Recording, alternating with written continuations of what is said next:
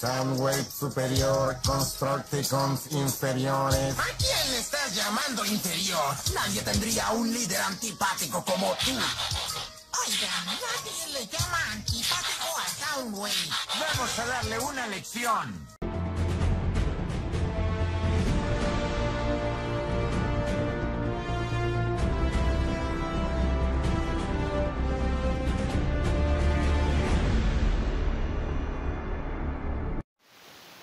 Hola, acá estamos en un nuevo video de una reseña de una figura de Creo Transformers.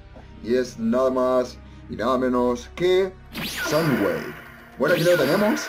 Aquí tenemos a Soundwave y bueno, se ve bastante genial la figura. Ahí está, enfocó bien.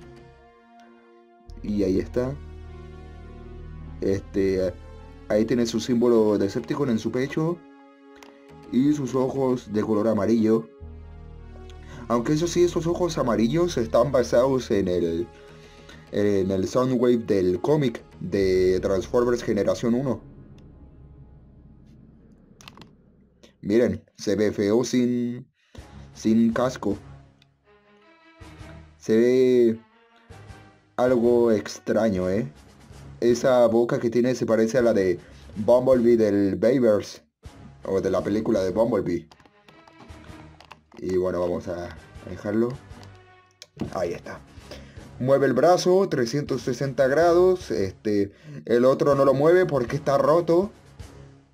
Este, voy a quitarle este maletín y gira la mano.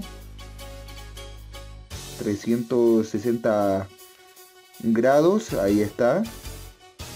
Lo mismo del otro lado.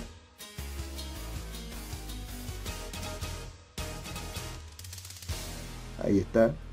Giré el brazo con la pistola. Ahí está. Y muere. Bueno, ahí está.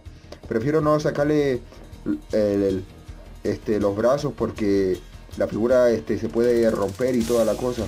Y no quiero romperla.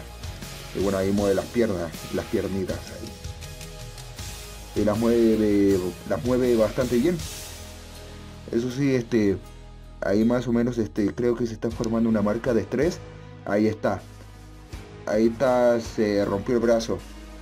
Ahí está al intentar moverlo así. Sí déjeme decirle que estas figuras de transformers son bastante delicadas pero muy delicadas estas figuras creon son bastante delicadas ya sea intentes moverle las articulaciones o lo que sea. Este, no recomiendo mucho este si le vas a sacar un brazo o algo, este no, no te lo recomiendo sinceramente para nada. Este eh, no, no te lo recomendaría sinceramente porque este lo puedes romper y lo mismo puede sacar las piernas ya que este, igual se ven delicadas aparte ahí. Este, se estaba formando una marca de estrés ahí en la en una de las piernas ahí como una como este cómo se llama esta marca cuando se va a romper la figura como una grieta por así decirlo. Más o menos. Y ahí está este la verdad es que es un problema este mover este las figuras o creo o algo así por suerte no se me han roto las he cuidado bastante bien. No piensen que las he roto con intención, no. Creo que también me pasó uno con, con la figura de un humano, si no me equivoco. Creo que no. Ah, creo que también me pasó con una de Mirage que me regalaron en la escuela cuando era niño. Este problema. Bueno, aquí tengo a Soundwave junto con Red Alert y su amigo Megatron. Y bueno, Podemos ver que los tres son del mismo tamaño, ya que en el cuerpo son el mismo molde, pero lo que cambia es la cabeza. Y bueno, lamentablemente no pude arreglé ahí le puse pegamento ahí en el brazo a Soundwave porque este para que porque ya no sirven esos brazos ya no sirven ya no le sirven y este lamentablemente lo tuve que dejar así y bueno este, ojalá no, le pase eso a, mis figuras Creon, a mis demás figuras Creon, ya que este, me dolería bastante si le pasara eso. Y bueno, ahí está. Este, ahí están los tres, ven bastante bien, bastante geniales y este, se ven cool. Bueno, este, aquí tengo una pequeña comparación y acá lo tengo con los Simpsons de Lego. Y bueno, podemos ver que las figuras de Lego son más grandes que...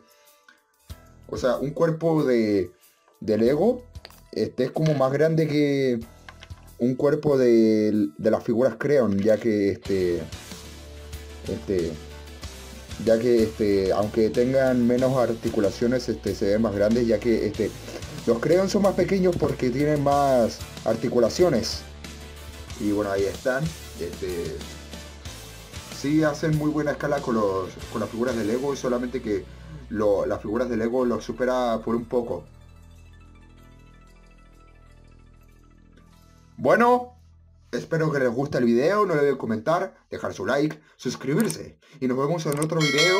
Adiós.